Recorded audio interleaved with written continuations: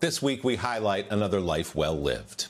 On April 27th of last year, an Army installation in Prince George County, Virginia, long named for Confederate General Robert E. Lee, made a change.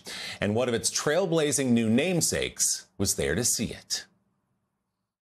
Lieutenant General Arthur Gregg watched proudly as Fort Lee became Fort Gregg Adams, a name he shares with another history making soldier Lieutenant Colonel Charity Adams. Gregg was born the youngest of nine children on a South Carolina cotton and tobacco farm that did not have electricity or running water. Inspired by the heroic black soldiers who helped to win World War II, he enlisted in the Army in 1946.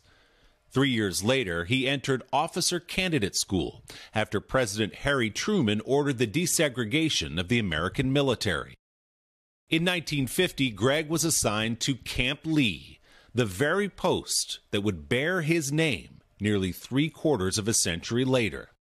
At Camp Lee and stationed later in post war Germany, Gregg found what he called two armies one black, one white.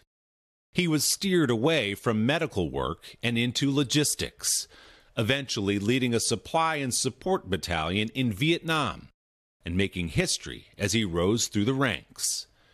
Gregg became a decorated Major General in 1976, and a year later was promoted to Lieutenant General, the first black three star in the history of the Army.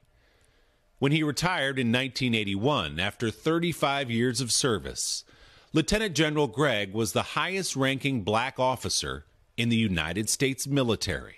I hope that this community will look with pride on the name Fort Gregg Adams, and that the name will instill pride in every soldier entering our mighty gates.